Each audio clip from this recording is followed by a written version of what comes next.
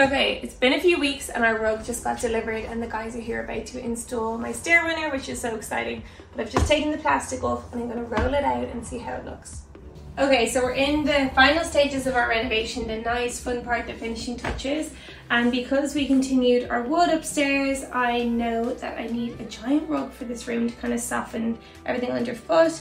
I want it to be quite long, rectangular, which is gonna be hard to find. So I think I'm gonna do bespoke sizing.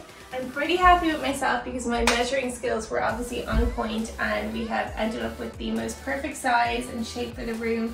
It is just gonna give the most gorgeous underfoot feeling for the guys when they're hopping out of bed in the morning and it's really brought the room together and finished it all off.